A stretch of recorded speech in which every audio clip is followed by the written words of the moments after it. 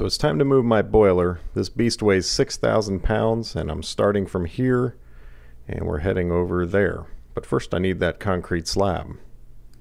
Here I've got laid out the, uh, the slab. The woodshed's gonna go here. There's gonna be a space in between the woodshed and this is where the boiler's gonna go. I left this square out because the utilities come into the back of the boiler and I don't want to have to deal with concrete when I'm hooking up the utilities. So I'll be able to dig right to where the utilities come in. So first step, I need to get this topsoil off of here. So I'm going to do some marking paint. Now let's get the backhoe on the tractor.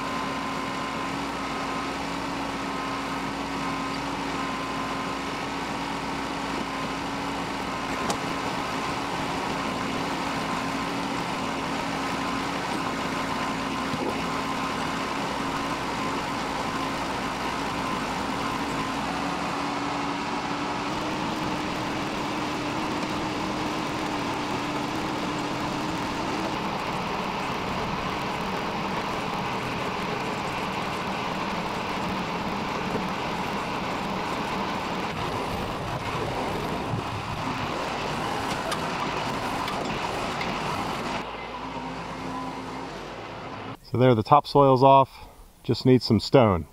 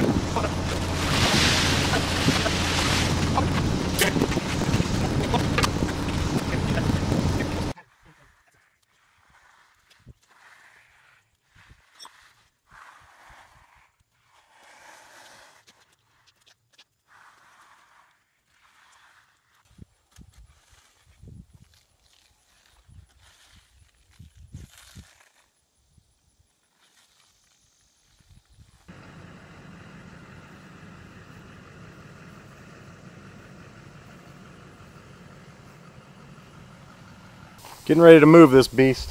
First thing I gotta do is get it unhooked. Actually, the first first thing I have to do is drain the propylene glycol out of it. Uh, I have propylene glycol in it because I don't have to worry about the boiler being fired in cold weather. It won't freeze.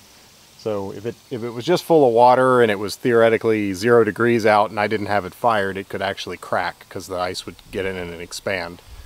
So, uh, so I don't have to worry about that but uh, propylene glycol is not free, so I got to save it.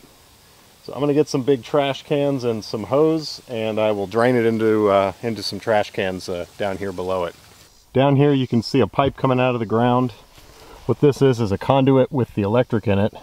This is an insulated pipe that has two water lines, hot and a cold. The hot line actually, it pumps out of the bottom of the boiler. It goes through this pump, which just turns around and, and takes it through the red. So that's the, the hot line going to the house. And then this is the cold line coming back from the house, which comes up and dumps in the top of the boiler. So the cold water will go down through the hot water and it'll mix. So you end up with a uh, steady temperature in your, in your boiler water. I'm not going to move it the way I originally wanted to uh, using that lift hook up there. It was a neat idea. It would have been interesting because theoretically you could do that without any heavy equipment. You just need a big lever and men that are strong enough to get it in position and then just stack it with counterweights. But uh, I decided it's going to be too dangerous, too much work, not worth my time. So what I'm going to do is I'm going to drag it with the tractor. Now, when I bought this thing, he told me to only use the lift hook. But when I look under there, I mean, it's sitting on feet and it has a tubing frame underneath.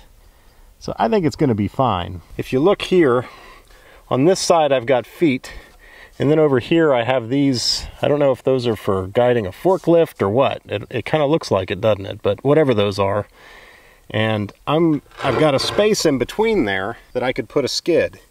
And it'll actually keep it in position between the feet and whatever this thing is. So what I've done is measured it. Uh, I need four and a half by five and a half. So uh, I'm going to go off to the sawmill and I'm going to cut myself a couple skids.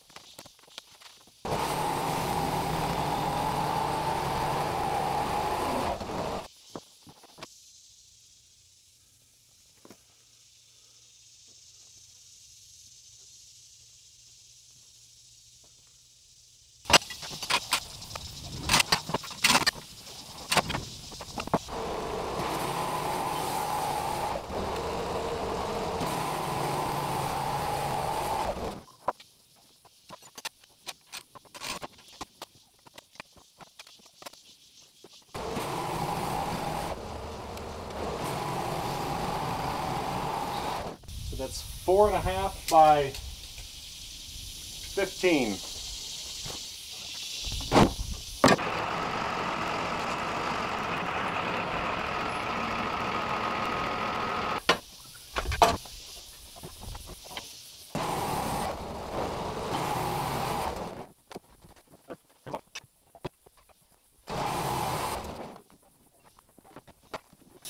All right, two skids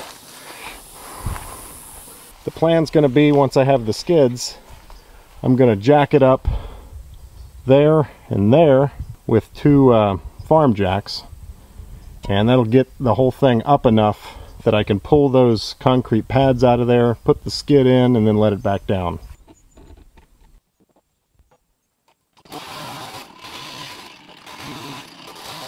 So one of the tricks to moving this boiler, it doesn't look like that big of a deal. It's right here, and I'm going to move it to right there. The problem is it needs to turn around. This side is the door. This side is where you load it. So once it's over here, the door needs to be facing this way. So I'm going to have to get it on those skids and then spin it 180 degrees and then drag it over there. Alright, now I need to jack this thing up.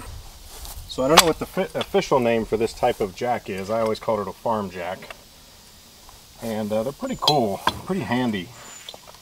They um,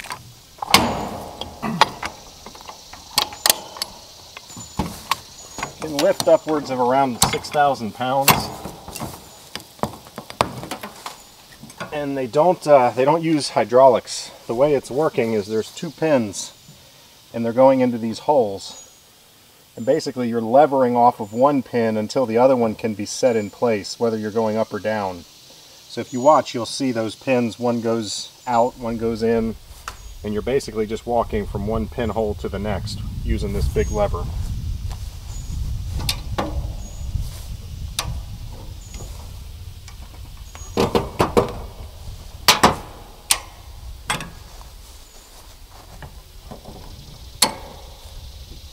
See that pin just came up and then engaged with the next hole. So now I'm levering off of that one until the next one comes up and pops into the hole. And now the weight's being held on that pin so I can move the next one up to the next hole.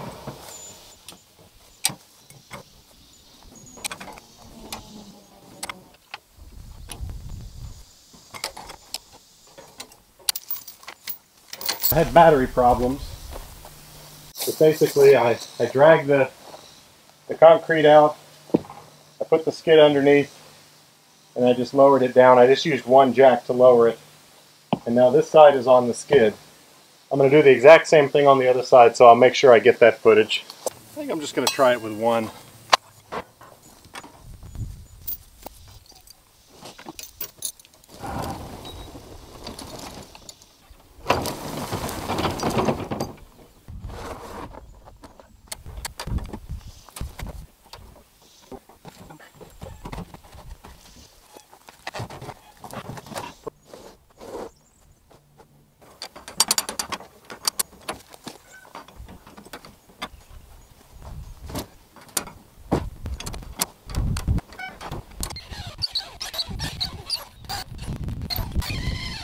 Alright, I've got the chains hooked up. They're equal length. They're both going to the front end loader. And then of course the tractor.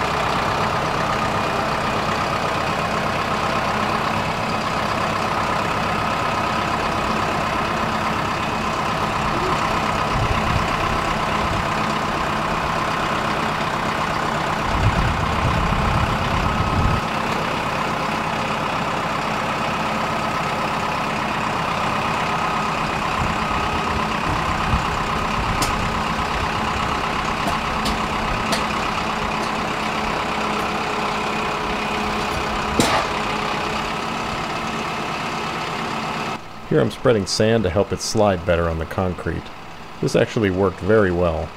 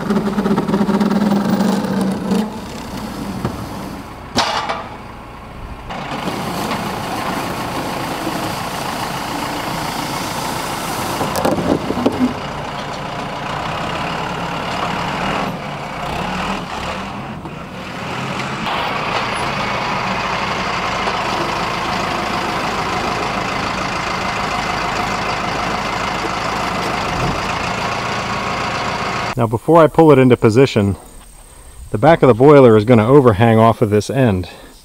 And the utilities are going to come up underneath the boiler. You see that? They come up through that hole right there.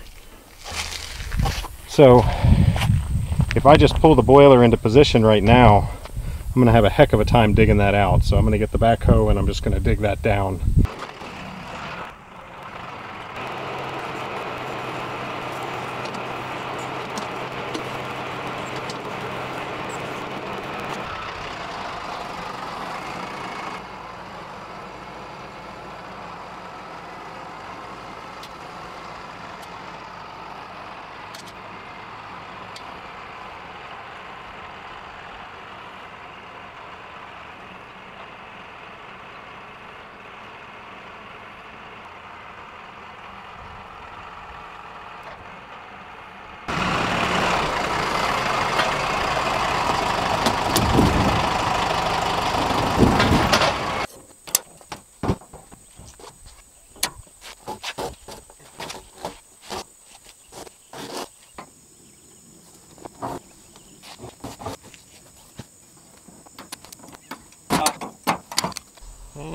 Is all leveled out. So I did one thing with this shed that's a little unusual, but there's reasons for it. Uh, the concrete is not level. Now why would I do that? Well, the main reason is because